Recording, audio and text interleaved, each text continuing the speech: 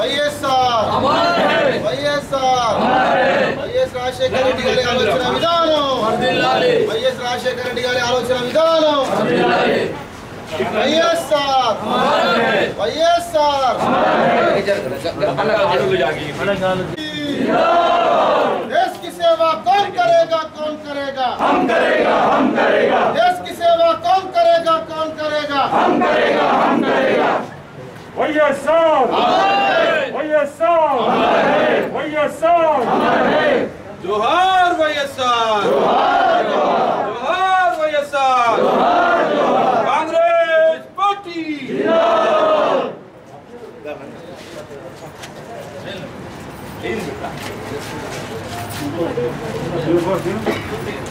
YS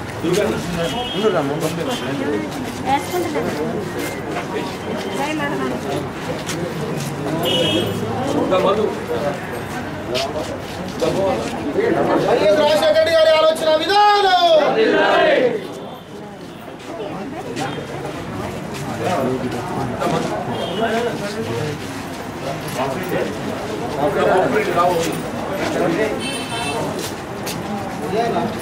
Vijay బాబా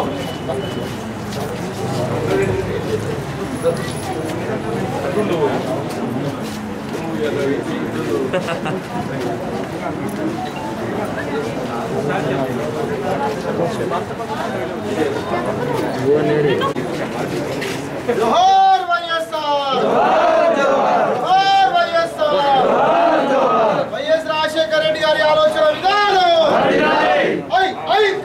కాంగ్రెస్ జై జై Congress I I Congress జై జై కాంగ్రెస్ సోనియా గాంధీ గారి నాయకత్వం వర్ధిల్లాలి రాహుల్ గాంధీ గారి నాయకత్వం వర్ధిల్లాలి కాంగ్రెస్ పార్టీ जिंदाबाद देश की सेवा कौन करेगा कौन करेगा हम करेगा हम करेगा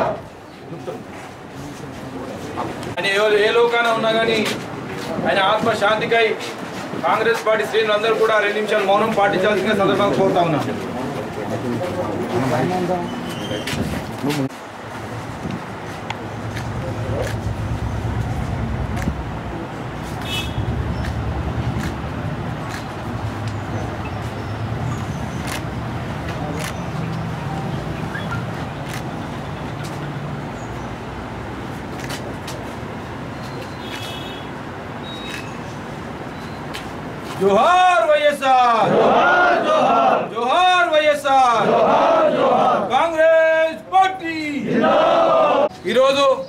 ముఖ్యమంత్రి అంటే నిర్వచనం డాక్టర్ వైఎస్ రాజశేఖర రెడ్డి అని చెప్పి చెప్ప తప్పదు.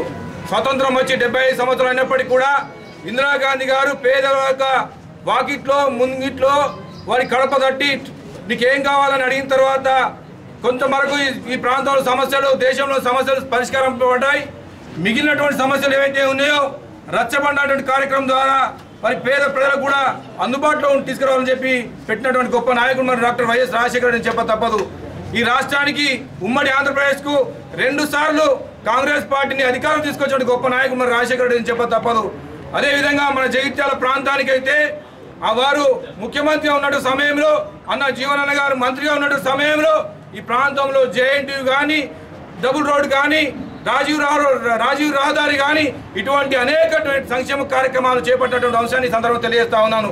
మరి ముఖ్యంగా రాజశేఖర రెడ్డి గారు జగిత్యాలకు వచ్చిన సందర్భంలో అన్న జీవనన్న గారితో పాటు నేను నన్ను పరిచయం చేసిన సందర్భాలు అనేకం ఉన్నాయి ఈ ప్రాంతంకి వచ్చిన ప్రతిసారి కూడా శంకర్ అని చెప్పి పరిచయం చేసినటువంటి అనుభూతిని నా జీవితంలో కూడా మరవలేనటువంటి సంఘటనగా నేను భావిస్తూ ఏది ఏమైనా సోదరులారా కాంగ్రెస్ పార్టీలో నువ్వు నేను మనందరం ఉండడం చాలా గొప్ప విషయంగా భావిస్తా ఉన్నాను. ఈ దేశానికి స్వతంత్రం ఇచ్చిన కాంగ్రెస్ పార్టీ ఈ దేశాన్ని స్వతంత్రం కాపాడేటువంటి కాంగ్రెస్ పార్టీ ఈ దేశాన్ని రానున్న రోజుల్లో స్వతంత్ర బలాలు కూడా అందించేది కాంగ్రెస్ పార్టీ అని చెప్పి ఘంటాపదంగా చెప్తూ ఈ చక్కటి అవకాశం ఇచ్చిన మీ అందరికీ కూడా హృదయపూర్వక నమస్కారం తెలుసు ముగిస్తున్నాను. జై హింద్ జై కాంగ్రెస్!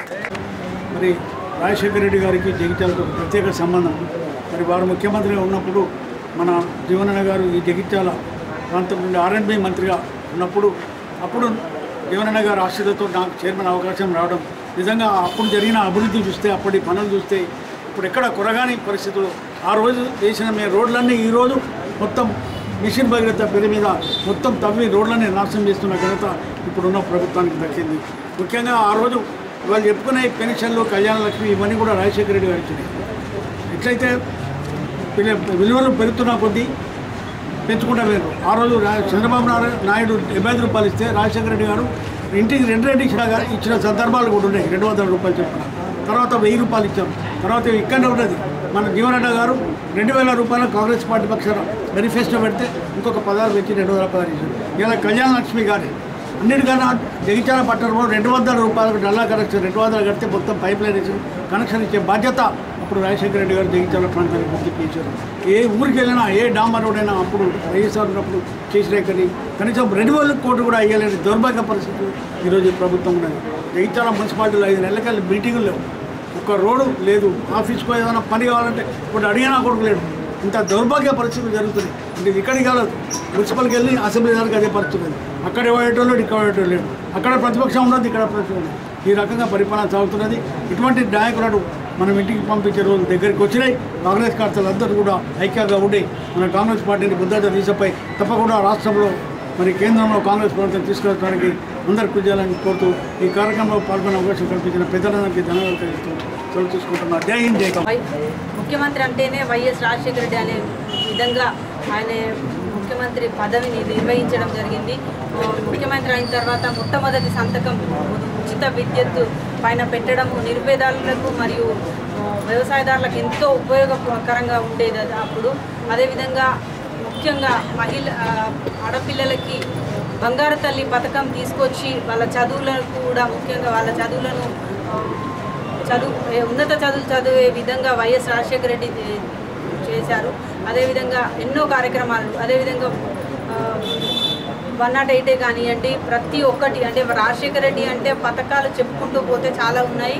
అదేవిధంగా ముఖ్యమంత్రి అంటేనే వైఎస్ రాజశేఖర రెడ్డి అనే విధంగా ఆయన ముఖ్యమంత్రి పదవిని నిర్వహించడం జరిగింది. ఆయన స్మృతులు ప్రతి ఒక్కరి మదిలో మెల్ మెదలడం జరుగుతుంది. అదేవిధంగా ఆయన చనిపోయిన తర్వాత ఆయన చనిపోయిన తెల్ తెలియగానే ఎంతోమంది గుండెపూడితో చనిపోవడం అంటే ఆయనను ఆయన ఎంత ఒక దేవునిగా కొలిచారో అర్థమవుతుంది.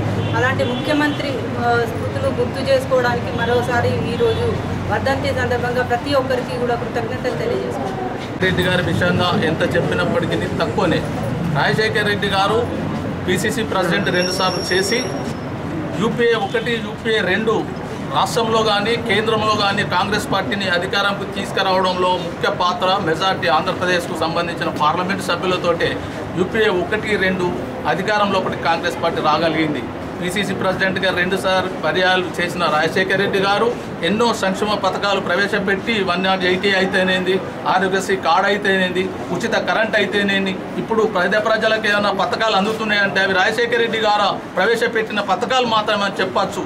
ఆరోగ్యశ్రీ కార్డు జేబులో పెట్టుకొని వెళ్తుంటే రెండు లక్షల రూపాయల వరకు హాస్పిటల్ లోపల అన్ని విధాలుగా బీమారులకు సేవ చేసి ఉచిత సేవ చేసే విధానాన్ని రాజశేఖర రెడ్డి గారు ప్రవేశపెట్టిండ్రు పెరుగుతున్న ర- రేట్లకు అనుగుణంగా ఈ రెండు లక్షల రూపాయలు సరిపోవడం లేదు రెండు లక్షలు నాలుగు లక్షల రూపాయలకు ఆరోగ్యశ్రీలో చేర్చాలని చెప్పి మనవి చేసుకుంటూ ప్రధానమైన డిమాండ్తో ఈ రెండు లక్షల పథకం ఏదైతుందో ఆరోగ్యశ్రీని నాలుగు లక్షల రూపాయలకు పెంచాలని చెప్పి ప్రభుత్వానికి విమ- వివరణ ఇస్తూ హెచ్చరిస్తూ की सोच थी जो आंध्र प्रदेश और तेलंगाना को मिलाकर कि जब अगर सोचते थे तो वो काम बराबर पूरे आवाम के लिए सोचते थे और आवाम के लिए सोचते हुए उन्होंने काम करते थे। सीएम एक ऐसा होता था जो वादा करते थे, जो अगर आवाम के अंदर एक बात बोल दिए, वो एक जियो के टाइप में एक अमल हो जाता था। जो आज आरोग्यश्री के टाइप में जैसे आप बोले दुर्घटना बोले तमाम चीज़ें। जब अगर सीएम आ गया तो आवाम को एक भरोसा रहता था कि ये सीएम अगर कुछ बोला तो हमारे लिए कुछ कर सकता है। आज के सीएम जो वादा करते हैं और भूल जाते हैं और तेलंगाना पूरा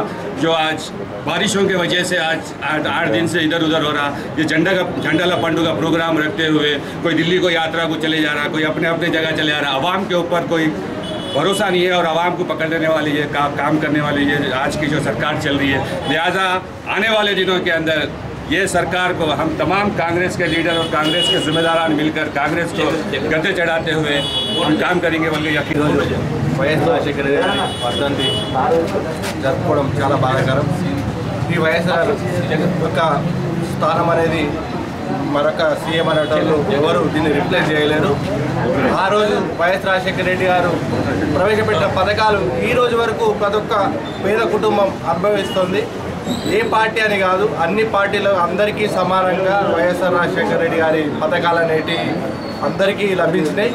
ఇప్పుడు ఆ పథకాలన్నీ నిర్వీర్యం చేస్తారు వన్ నాట్ ఫోర్ కానీ వన్ నాట్ ఎయిట్ కానీ ఫీజు రియంబర్స్మెంట్ కానీ ఇవన్నీ కూడా మరుగున పడేసిన సీఎం కేసీఆర్ను గద్దె దింపే రోజులు త్వరలోనే ఉన్నాయని చెప్పి ఈ ఈ సభాపరంగా తెలియజేసుకుంటున్నాను. కాంగ్రెస్ పార్టీ ఎప్పుడు అధికారం లోపల ఉన్నా కానీ ప్రజా సంక్షేమమే ధ్యేయంగా అనేక కార్యక్రమాలు రూపొందిస్తూ పేద ప్రజలను బడు బలహీన వర్గాల అభ్యున్నతే ప్రధాన ధ్యేయంగా కార్యక్రమాలు నిర్వహించడం జరిగింది. అదే కోలోపట స్వర్గీయ రాజశేఖర్ రెడ్డి గారు కూడా ముఖ్యమంత్రిగా ఉన్నప్పుడు ముఖ్యంగా అనేక మంది అనేక విషయాలు చెప్పారు. ముఖ్యంగా ఫీజు రియంబర్స్మెంట్ పద్ధతి ద్వారా అనేక మంది విద్యకు దూరమైన నిరుపేద కుటుంబాలకు సంబంధించిన వాళ్ళు బడుగు బలహీన వర్గాల వారు బిలో పావర్టీ లైన్ వాళ్ళందరికీ కూడా విద్య అనేది ఒక సువర్ణ అవకాశంగా ఈ ఫీజు రియంబర్స్మెంట్ విధానంతో ఉన్నత విద్య అభ్యసించి ప్రస్తుతం అనేక మంది ఉన్నత విద్యావకాశ ఉద్యోగ అవకాశాలు పొందిన వాళ్ళు కూడా ఉన్నారు. వాళ్ళందరూ ఇప్పుడు ఒకటే ఆలోచించాలి.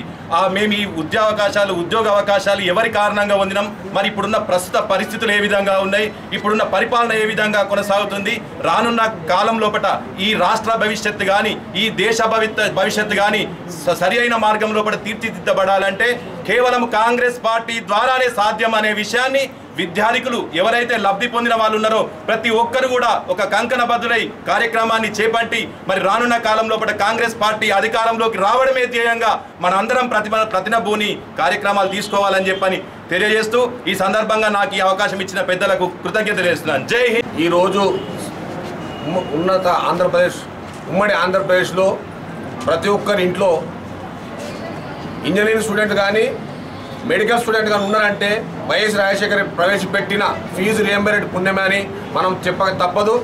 ఎవరే కానీ ఆ లబ్ధి పొందిన వారందరూ ఇవాళ కాంగ్రెస్ పార్టీని స్మరించుకుంటూ భవిష్యత్తులో కాంగ్రెస్ పార్టీకే అంకితమయ్యే విధంగా అందరూ ప్రవర్ ప్రవర్తించుకోవాలి. అట్లాగే ఇవాళ సామాన్య మానవునికి సైతం కార్పొరేట్ వైద్యశాలలో కార్పొరేట్ వైద్య వైద్యాన్ని అందించిన ఘనత మన ప్రియతమ నాయకుడు రాజశేఖర రెడ్డి గారిదే. అట్టి స్కీములనే మారుస్తూ మారుస్తూ మనం పెట్టిన స్కీములను మరుగున పడతా మరుగున పడే విధంగా ఈ రోజున ప్రభుత్వం వ్యవహరిస్తున్నది. ఇవాళ ఫీజు రియంబర్స్మెంట్ కూడా పదిహేను వందల కోట్లు బకాయిలు ఉన్నది ప్రభుత్వం. అప్పట్లో మన ముఖ్యమంత్రి గారు దివంగత ముఖ్యమంత్రి గారు ఏ ఏ నెల కానేలా ఏ సంవత్సరం సంవత్సరం ఫీజు రియంబర్స్ చేర్చుకుంటూ స్కూళ్ళల్లో మన విద్యార్థులకు ఇబ్బంది కాకుండా చేసిన ఘనత కూడా మన ప్రియత నాయకులు వైఎస్ రాజశేఖర రెడ్డి గారిదని గుర్తు చేసుకుంటూ ఇవాళ వారికి ప్రగాఢ నివాళులు అర్పిస్తూ ముగిస్తున్నాం. ఈ అవకాశం నాకు స్వర్గీయ మాజీ ముఖ్యమంత్రి వర్యులు రాజశేఖర రెడ్డి గారి పన్నెండవ వర్ధంతి కార్యక్రమాన్ని పురస్కరించుకొని నిర్వహిస్తున్నటువంటి కార్యక్రమంలో పాల్గొంటున్నాను వాస్తవంగా రాజశేఖర రెడ్డి గారికి తెలుగు జాతితో ఉన్నటువంటి ఒక అనుబంధం అది విడదీయలేని అనుబంధంగా పేర్కొనక తప్పదని చెప్పండి. వారి అకాల మరణం యావత్ తెలుగు జాతి ఏదైతుందో మరి తీవ్ర నిరాశ నిస్పృహ దుఃఖానికి లోన్ చేసినటువంటి ఒక విషయం మనకందరికీ తెలిసింది. అంటే వాస్తవంగా మన తెలంగాణ రాష్ట్రంలో చేపట్టబడుతున్నటువంటి యొక్క ఏ సంక్షేమ కార్యక్రమాలైనా అభివృద్ధి కార్యక్రమాలైనా ఇవన్నింటికి మూలం ఏదైతుందో ఆనాడు ఉమ్మడి రాష్ట్రంలో రాజశేఖర రెడ్డి గారు ముఖ్యమంత్రిగా చేపట్టినటువంటి మరి ఆలోచన విధానమే దానికి మూలం అని చెప్పని చెప్పక తప్పదని చెప్పండి ఇవాళ రెండు వేల నాలుగులో రాష్ట్రంలో అధికారానికి వచ్చినటువంటి ఒక కాంగ్రెస్ పార్టీ రాజశేఖర రెడ్డి గారు ముఖ్యమంత్రిగా వీళ్ళ ఏ తెలంగాణ ప్రాంతం ఇలా వ్యవసాయంలో మరి సాగునీరు ఏదైతుందో మనకు లభించక కేవలం విద్యుత్ మోటార్లపై ఆధారపడి వ్యవసాయం చేసుకుంటున్నటువంటి పరిస్థితులలో రైతాంగానికి ఉచిత విద్యుత్తు కల్పించి రైతాంగానికి ఒక ఆత్మవిశ్వాసం భరోసా నింపినటువంటి ఒక గొప్ప నాయకుడు రాజశేఖర రెడ్డి గారు అని చెప్పి చెప్పక తప్పదంటున్నారు వల్ల ఉచిత విద్యుత్తుతో పాటుగా అంతవరకు ఉన్నటువంటి ఒక విద్యుత్ బకాయిలను కూడా పూర్తి మాఫీ చేయడంతో ఇలా వ్యవసాయ రంగంలో ముఖ్యంగా చెప్పంటున్నాను ఇక్కడ దేశాన్ని పట్టడి అన్నం పెట్టేటువంటి ఒక రైతుకు అండగా నిలవాలనేటువంటి ఒక తలంపుతో ఒకవైపు ఉత్పత్తి కావాల్సినటువంటి ఒక పెట్టుబడులు సమకూర్పే కానివ్వండి ఉత్పత్తి చేయబడినటువంటి ఒక వ్యవసాయ ఉత్పత్తుల మార్కెటింగే కానివ్వండి వాళ్ళు అన్ని రంగాలలో చెప్పండి నేను. ఆనాడు ఏదైతున్నదో ఇవాళ యూపీఏ ప్రభుత్వ హయాంలో అమలు చేతల పెట్టినటువంటి యొక్క లక్ష రూపాయల రూపాయల వరకు రుణమాఫీ ఏదైతుందో ఏకమొత్తంగా రుణమాఫీ చేయడంతో పాటుగా సకాలంలో బకాయిలు చెల్లించినటువంటి ఒక రైతుకు ఐదు వేల రూపాయలు ప్రోత్సాహం కల్పించినటువంటి ఒక ప్రభుత్వం మనకి కేవలం ఉమ్మడి రాష్ట్రంలో వైఎస్ రాజశేఖర గారని చెప్పని చెప్పక తప్పదని చెప్పండి.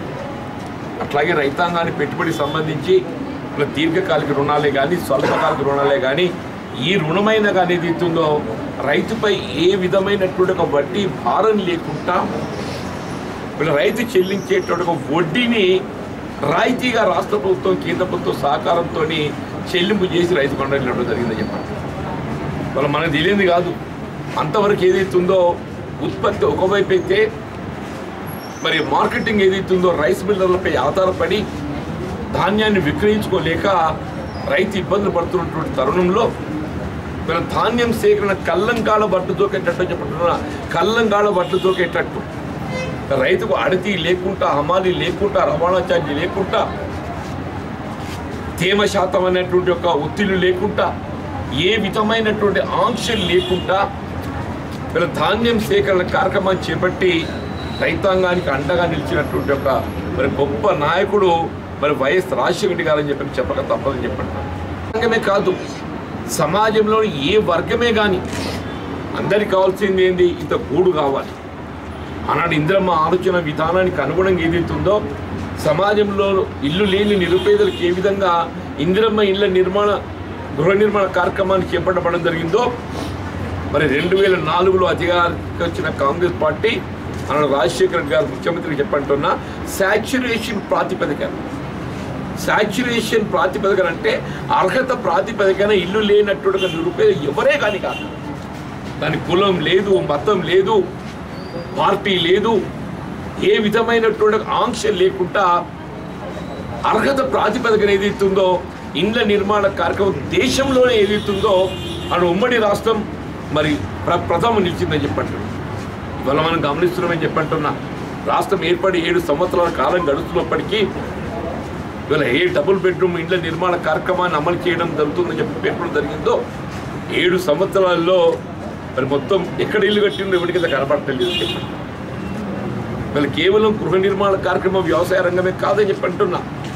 ముఖ్యంగా భారత రాజ్యాంగం కల్పించిన హక్కు ప్రాథమిక విద్య ఆరోగ్యం అని చెప్పండి అందులో విద్య ఆరోగ్యానికి సంబంధించి ఎంత నిరుపేద వర్గమైనా కానీ ఏ విధమైనటువంటి ఆర్థిక ఒత్తిడి లేకుండా ఆర్థిక ఇబ్బందులు లేకుండా విద్యా సదుపాయం కల్పించే విధంగా ఒకవైపు ప్రభుత్వ పాఠశాలలు బలోపేతం చేస్తూ ప్రభుత్వ పాఠశాలల్లో కూడా ఆంగ్ల మాధ్యమ బోధనాన్ని ప్రవేశపెట్టే విధంగా సక్సెస్ స్కూల్స్ ఆరంభింపచేసి వీళ్ళ ఉన్నత విద్యకు సంబంధించి వీళ్ళ ఫీజు రియంబర్స్మెంట్ పథకాన్ని ప్రవేశపెట్టి వీళ్ళందరికీ విద్య అందుబాటులోకి తెచ్చినటువంటి ఒక ఘనత వీళ్ళ వైఎస్ రాజశేఖర గారి ఆలోచన విధానం అని చెప్పి చెప్పక తప్పదంటున్నాను వీళ్ళు ప్రభుత్వ ఆసుపత్రులపై మాత్రమే ఆధారపడేటువంటి వైద్య సదుపాయాన్ని వీళ్ళ కార్పొరేట్ స్థాయిలో నిరుపేద వర్గాలకు ఇవాళ జాతీయ స్థాయిలో కాదు అంతర్జాతీయ స్థాయిలో ఉచిత వైద్య సదుపాయాన్ని కార్పొరేట్ స్థాయిలో అందింపజేసినటువంటి ఒక ఘనత మరి ఆనాటి ఉమ్మడి రాష్ట్రంలో ముఖ్యమంత్రి వైఎస్ రాజశేఖర్ గారు చెప్పక తప్పని చెప్పట్లేదు ఆనాటి రాజీవ్ ఆరోగ్యశ్రీ పథకమే వాళ్ళ ఆరోగ్యశ్రీగా రూపొందుకుని కానీ మనం గమనిస్తామని చెప్పంటూ నేను ఇప్పుడు ప్రైవేట్ ఆసుపత్రులు ఏదైతుందో మాకు కావాల్సినటువంటి ఒక మరి నిధులు విడుదల కావటం లేదు. అని పంపించేసుకొని చెప్పండి. నిన్న కాక మొన్న ఆశ్చర్యం ఏంటంటే సమాజంలో అత్యధికంగా మనం కరోనా కోవిడ్ బారిన పడడమే కానీ డెంగ్యూ బారిన పడటమే కానీ ఇతర వ్యాధులపై పడుతుంటే మరి ఆరోగ్యశ్రీలో అది చేత పడలేకపోవడంతో ఇవాళ ఆయుష్మాన్ భారత్ ఏదైతుందో రాష్ట్రం అమలు చేయబడలేకపోవడంతో నిరుపేద వర్గాలు ఏదైతుందో ఆర్థికంగా మరి ఏ విధంగా కుంగి కృషించిపోతుందో మనకు తెలియదు కాదు. ప్రభుత్వం ఏదైతుందో మేము ప్రభుత్వ ఆసుపత్రుల్లో మాత్రమే ఈ విధమైనటువంటి కరోనా కోవిడే కానీ డెంగ్యూయే కానీ ఇవాళ మలేరియా కానీ ఇవన్నింటికి నిమోనియా కానీ మేము వైద్య సదుపాయం అందింపజేస్తాం. మరి ప్రైవేట్ ఆసుపత్రిలో కాదంటుంటాయి ఇక్కడ ప్రభుత్వ ఆసుపత్రుల్లో ఉచితంగా వైద్య సదుపాయం అందింపజేయడం మీ బాధ్యత కాదని చెప్పి అంటున్నాం. స్థానిక ఆరోగ్యశ్రీ నేను సహకారం అందింపజేస్తా అని చెప్పానంటే ఇట్స్ యువర్ రెస్పాన్సిబిలిటీ. అంటే ఏ విధంగా ప్రభుత్వ ఆలోచన విధానం కొనసాగుతుందో దయచేసి ఆలోచన చేయాలని చెప్పంటున్నాను మన సంక్షేమ కార్యక్రమాలకు సంబంధించి ఏదైతుందో మరి ఏ విధమైనటువంటి పరిమితులు లేకుండా ఆనాడు ఏదైతుందో కేవలం డెబ్బై ఐదు రూపాయలు ఉన్నటువంటి ఒక పెన్షన్ ఆనాటి యొక్క మరి ఆర్థిక వనరులు ఆవి ఆనాడు ఉన్నటువంటి యొక్క మార్కెట్టే మరి విలువలను పరిగణలోకి తీసుకొని రెండు వందల రూపాయలు అమలు చేయడం జరిగిందని చెప్పండి. ఏ పరిమితులు లేదని చెప్పండి నేను. భర్త చేస్తే వెంటనే నెక్స్ట్ మంత్ ఏదైతుందో భారీ పెన్షన్. అరవై ఐదు సంవత్సరాలు సమకూరుతుందంటే next year old age pension. అనుకోని పరిస్థితుల్లో దురదృష్టం కొద్ది భార్య భర్త చనిపోతే భార్యకి వెంటనే వితంతు పెన్షన్ చెప్పంటారు ఏ విధమైన పరిమితులు లేకుండా ఆంక్షలు లేకుండా ఇవాళ సంక్షేమ కార్యక్రమం పెన్షన్స్ అమలు చేయడం జరిగిందని చెప్పండి. ఇవాళ గమనిస్తున్న కొత్తగా రాష్ట్రం ఏర్పడే మూడు సంవత్సరాల కాలం గడుపుతుంది నువ్వు యాభై ఏడు సంవత్సరాలు కాదు అరవై ఐదు సంవత్సరాల నిండి నుండి కూడా ఈ ముప్పై మాసాలకి వెళ్ళి ఎవరికి పెన్షన్ లేదు అని చెప్పంటాను నేను అరవై ఐదు సంవత్సరాల నిండి నుండి కూడా చెప్పంటాను నేను భర్తలు కోల్పోయిన వితంత్రం లేదు అని చెప్పంటూ నేను నూతనంగా వికలాంగులం లేదు అని చెప్పంటూ నేను ఇవాళ ఏదైతుందో యాభై ఏడు సంవత్సరాల వరకు ఆనాడు చేసిన ఎన్నికల వాగ్దానానికి అనుగుణంగా నేను పెన్షన్ సౌకర్యం కల్పిస్తానని చెప్పాను అన్నప్పటికీ మరి మీ సేవలు అప్లోడ్ చేద్దామని చెప్పంటే ఎపిక్ కార్డ్ ఎన్నికల కార్డు ఉంటేనే దానికి అర్హత అనేటువంటి ఆంక్ష పెట్టి ఆ ఎపిక్ కార్డు పొందేటటువంటి అవకాశాన్ని దాన్ని నిలుపుదల చేయడం జరిగిందని చెప్పాను ఏ సంక్షేమ కార్యక్రమానికైనా కానీ అర్హత అనేది బిలో పవర్టీ లైఫ్ ఆ బిలో పవర్టీకి సంబంధించిన ఒక రేషన్ కార్డే. ఆనాడు ఏదైతే ఉందో అది నిరంతరం కొనసాగేటటువంటి ఒక ప్రక్రియగా నిరంతరం కొనసాగిన ప్రక్రియగా ఏదైతుందో రేషన్ కార్డు జారీ చేయబడ్డాయి చెప్పండి. వీళ్ళ ముప్పై మాసాలకు ఏదైతుందో మొన్న రేషన్ కార్డు జారీ చేయబడతాయని చెప్పి పేర్కొన్నప్పటికీ వీళ్ళ కుటుంబ సభ్యుల సవరణ లేదు. ఆప్షన్ క్లోజ్ చేసి పెట్టేసిండ్రు. మనం గమనిస్తూ చెప్పండి మన సమాజంలో ఏ విధంగా ఇబ్బందులు ఎదుర్కొంటూ మనం గమనిస్తూ చెప్పంటూ నేను. ఇలా ఈ ప్రభుత్వం అమలు చేసి తలపెట్టేటటువంటి ఏ కార్యక్రమం అయినా కానివ్వండి చెప్పంటున్నా. ఆంక్షల నెపంతోని ఆంక్షల నెపంతో ఏదైతుందో మరి ఏ సంక్షేమ కార్యక్రమం కూడా ప్రజలకు అందుబాటులో లేకుండా పోతుందని చెప్పండి. ఇది సమాజంలోని నిరుపేద వర్గాలు వాళ్ళు ఏదైతుందో కుల మతాలకు అతీతంగా ఏ విధంగా మన హిందూ సమాజంలో ఏదైతుందో మనం బలహీన వర్గాలకు రిజర్వేషన్ సౌకర్యం పొందుతున్నామో సమాజంలో ఉన్నటువంటి యొక్క ఆర్థిక వెనుకబాటుతలకు గురవుతున్నటువంటి యొక్క ముస్లిం సమాజానికి కూడా రిజర్వేషన్ సౌకర్యం కల్పించే విధంగా వీళ్ళ నాలుగు శాతం రిజర్వేషన్ అమలు చేసినటువంటి ఒక ఘనత వీళ్ళ వైఎస్ రాజశేఖర్ రెడ్డి గారికి తప్పుతుందని చెప్పండి. మా ముస్లిం సోదరులు అదే ఫలాలు అనుభవిస్తున్నారు తప్ప ఏదైతుందో? ఇవాళ మీరు ఎన్నికల్లో పేర్కొన్న పన్నెండు శాతం ఏమైందో ఇంతవరకు ఎవరికి తెలిసి రావడం లేదే అని చెప్పట్టు నేను. ఇలా గిరిజనులకి ఏదైతుందో పాపం మా లంబాడ ఆదివాసీ నాయకపు గూడెల్లో నివసించేటటువంటి యొక్క మా గిరిజన సోదరులకు ఏదైతున్నదో మరి వాళ్ళకి జనాభా ప్రాతిపదికన కల్పించవలసినటువంటి రిజర్వేషన్ తెలంగాణ రాష్ట్రం ఏర్పాటుతో వీళ్ళ తెలంగాణ రాష్ట్రంలో ఏదైతుందో కేంద్రీకరింపబడి ఉన్నటువంటి యొక్క గిరిజన జనాభాకు అనుగుణంగా వాళ్ళ పది శాతం రిజర్వేషన్ సౌకర్యం కల్పించబడి బాధ్యత ప్రభుత్వంపై ఉంటే వీళ్ళు ఏమైంది? ఆనాడు ఉమ్మడి రాష్ట్రంలో అమలు చేయబడ్డట్టు ఒక ఆరు శాతమే కొనసాగుతుంది తప్ప వేరే ఏం లేదు అని చెప్పట్టుండే.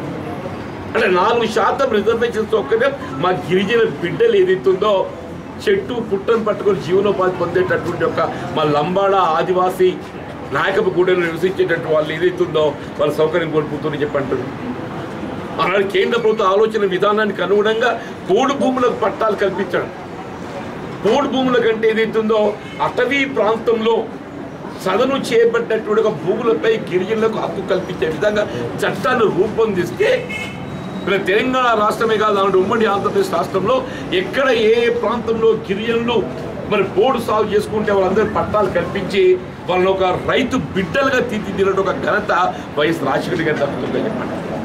మీరు ఏ కార్యక్రమాన్ని తీసుకోండి చెప్పండి ఏ కార్యక్రమం తీసుకోండి చెప్పి అంటున్నాను నేను. ఇవాళ తెలంగాణ రాష్ట్రం గొప్పగా భావించేటటువంటి కాళేశ్వరం ప్రాజెక్టుకు అంకురార్పణ చేసింది. ఆ ఉమ్మడి రాష్ట్రంలో గౌరవ ముఖ్యమంత్రి రాజశేఖర్ గారని చెప్పి చెప్పాలి తప్పదని చెప్పండి.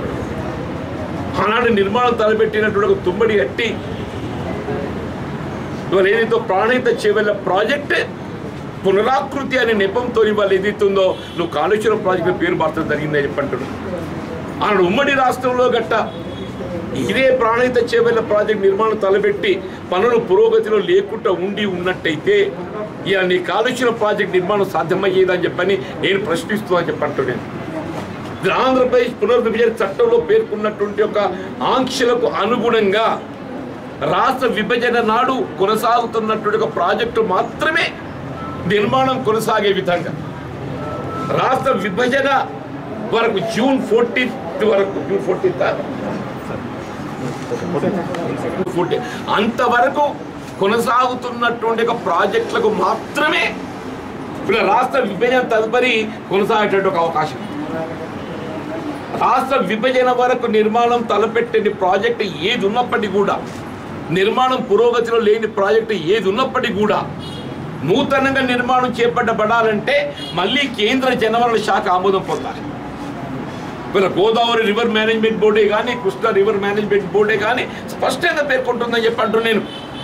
అంటే వీళ్ళ కాలుష్యం ప్రాజెక్ట్ మన నిర్మాణం కొనసాగడానికి కారణం అవకాశం ఏదైతుందో ఆ ఉమ్మడి రాష్ట్రంలో వైఎస్ రాజశేఖర రెడ్డి గారు తెలంగాణ ప్రాంతాన్ని సస్యశ్యామలం చేయగలిగే అవకాశం ఉన్నటువంటి యొక్క ప్రాణహిత నదీ జలాలను ఎత్తిపోతల ద్వారా చేవల్ల వరకు ఏదైతుందో తరలింపు చేసే విధంగా తుమ్మడిహట్టిలో నిర్మాణం తరలిపెట్టాలని చెప్పి భావిస్తుంది అటువంటి తుమ్మడిహట్టి ప్రాజెక్టులో నువ్వు ఏదైతుందో యాభై మీటర్ల దిగువకు యాభై మీటర్ల దిగువకు వాస్తవంగా వంద యాభై రెండు మీటర్ల నిర్మాణంతో తలపెట్టాలని భావించిన ప్రాజెక్ట్ ఏదైతుందో మహారాష్ట్ర ప్రభుత్వం నూట నలభై ఐదు మీటర్లకు మరి అంగీకారం తెలిపినా దాన్ని ఏదైతుందో ఇవాళ ఏం చేస్తుండు? మేడిగడ్డ కాళేశ్వరం వంద మీటర్లు పట్టుకొచ్చిండే. అంటే ఏంటి? సూరు మీద ఉన్న నీళ్ళను కింద పడ్డాక మన సూరు మీదకి ఎత్తిపోతున్నాడు నలభై ఎనిమిది మీటర్లు అంటే మీరు దయచేసి నలభై ఎనిమిది అంటే ఇంటూ మూడు లెక్క విన్న కానీ నూట యాభై ఫిట్ల ఎత్తు. నలభై ఎనిమిది మీటర్లు అంటే బాబు నూట యాభై ఫిట్ల ఎత్తు కిందకు దించిన తర్వాత ఏదైతుందో మళ్ళీ మీదకి ఎత్తిపోతున్నాయి. వీళ్ళని ఒకటే అడుగుతున్నా. వీళ్ళ టీఆర్ఎస్ నాయకుల మిత్రుడు కేసీఆర్ గారు నేను చెప్పంటున్నా. వీళ్ళు తుమ్మడి హట్టిలో మీరు నిర్మాణం చేపట్టబడడానికి అవకాశం ఉన్నటువంటి ఒక బ్యారేజ్ మహారాష్ట్ర ప్రభుత్వంతో ఒప్పందం కుదుర్చుకొని కూడా నువ్వు ఎందుకు నిర్మాణం చేస్తలేవయ్యా? ఇప్పుడు తుమ్మడి హట్టి నుండి ఏదైతుందో ఎల్లంపల్లి వరకు కాలువల నిర్మాణం పూర్తి చేయబడడం జరిగింది. మన అరకొర కాలువ నిర్మాణం నిలిచిపోయినట్టయితే దాన్ని పూర్తి చేసుకొని ఏదైతే ఇవాళ పైపులు కూడా పడి ఉన్నాయి అక్కడ. దానికి కావాల్సిన పైపులు కూడా పడి ఉన్నాయని చెప్పంటు నేను. కేవలం మూడు వేలు నాలుగు వేల కోట్లు ఖర్చు పెడితే తుమ్మడి హట్టి నుండి ఎల్లంపల్లి వరకు కేవలం ఒక్క ఎత్తిపోతలతో మాత్రం ఒక్క ఎత్తిపోతలతో మాత్రమే మన నీరు లభ్యమయ్యే అవకాశం ఉంటే ఇలా మూడు ఎత్తిపోతలతోని వీళ్ళ రాష్ట్రంపై భారం వేస్తుండే ఎందుకు? నీ కమిషన్ కక్కుర్తి కొరకు చెప్పండి. కక్కుర్తి కొరకు చెప్పంటున్నా ఏ పోతిరెడ్డి పాడు ద్వారా మన హక్కులను కృష్ణా నదీ జలాలపై కోల్పోవడం దొరుకుతుందో ఆ పోతిరెడ్డి పాడు నిర్మాణం ఇలా నిలిపివేయాలని చెప్పి నాన్న ఉద్యమిస్తే ఇవాళ స్వయంగా కేసీఆర్ గారు ఏదైతుందో వైఎస్ జగన్మోహన్ రెడ్డి కుమ్ముక్క అయిపోయి ఇవాళ సంగమించిన ప్రాజెక్ట్ నుండి ఏదైతుందో ఇవాళ అదే పోతిరెడ్డిపాడు కాలువలు ఏదైతుందో మూడంతలు పెంచిండు మూడంతలు పెంచిండు. రోజుకు ఆరు టీఎంసీని ఎత్తిపోసుకునే విధంగా ఇవాళ రాయలసీమ ఆంధ్ర ప్రాంతానికి వెసులుబాటు కల్పించినటువంటి దుర్మార్గుడు కేసీఆర్ అని చెప్పట్టు నువ్వు అనే మాట్లాడేది.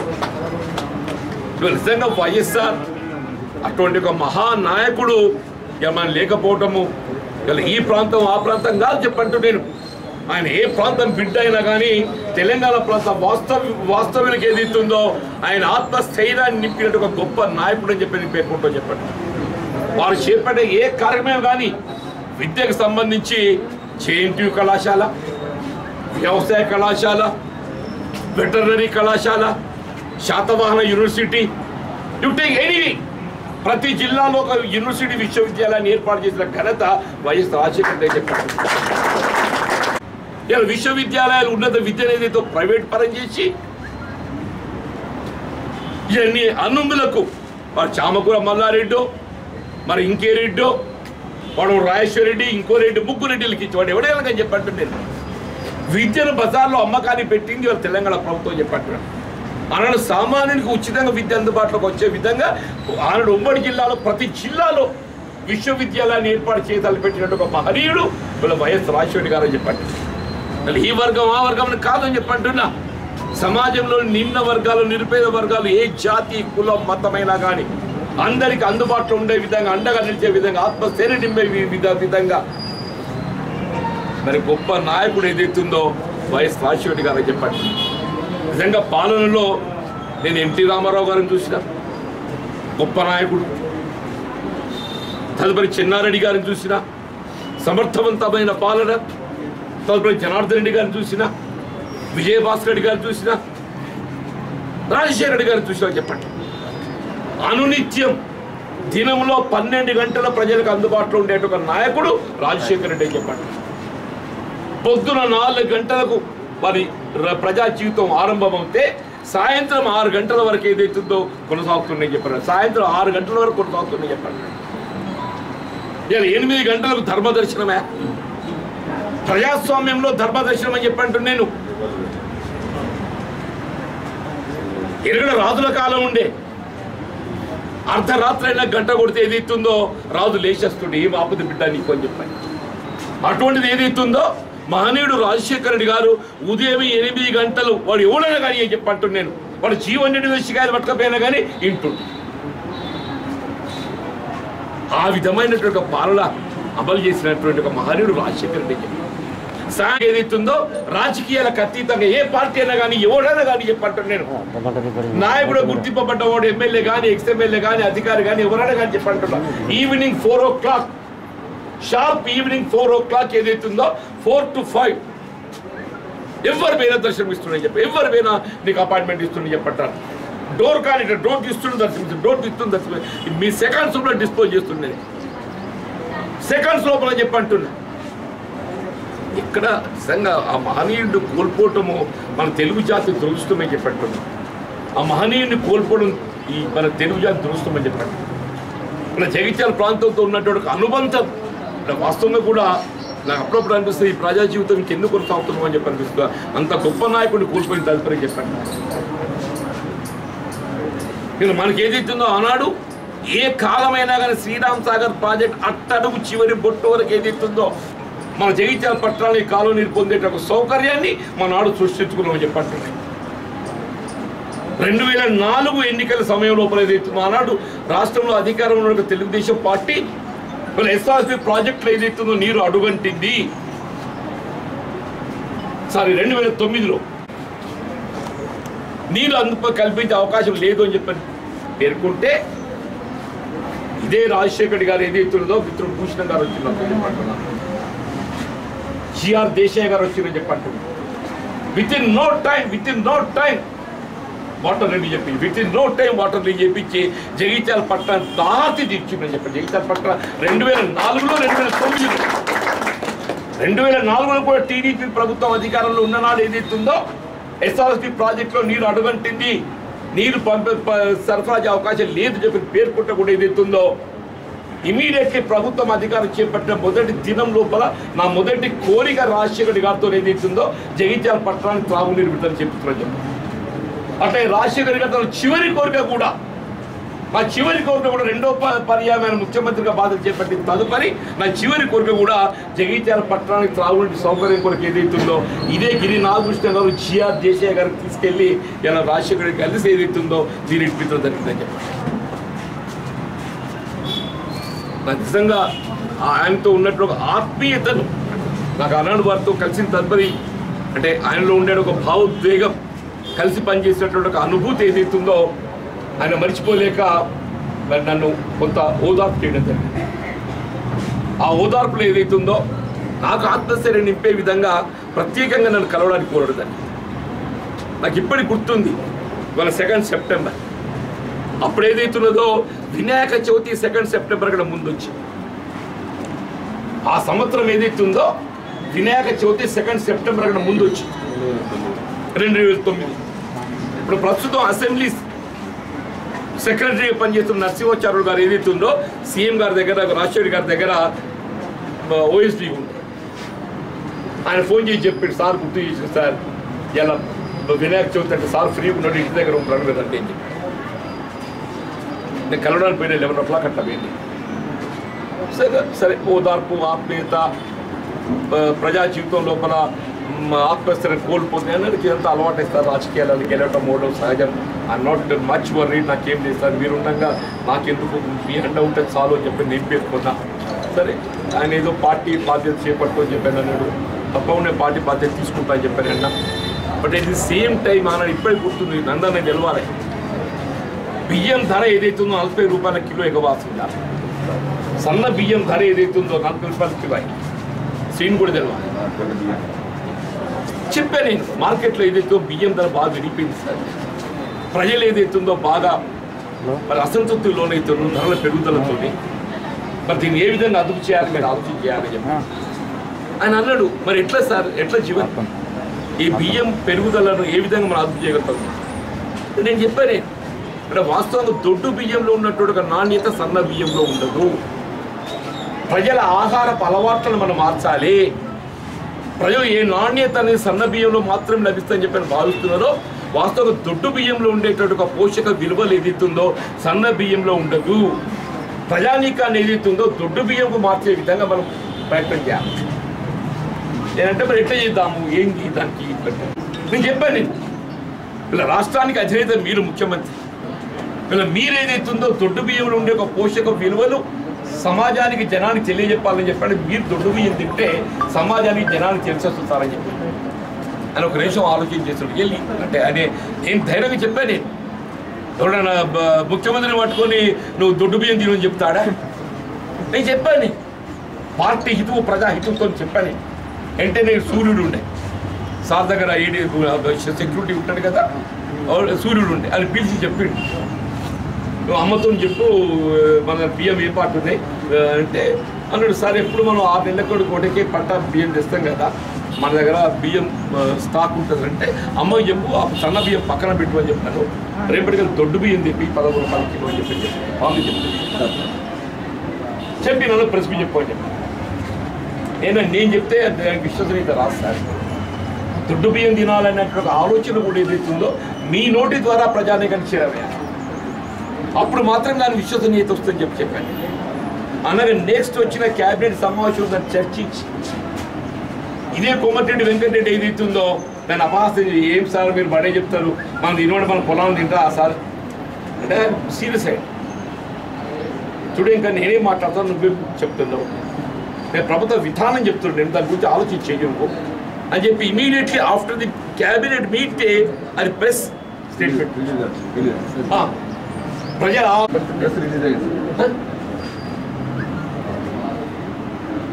ఇవాళ పోషక విలువలు అంటే సన్న బియ్యం కాదు వాసన బియ్యం తలకాయ మాంసం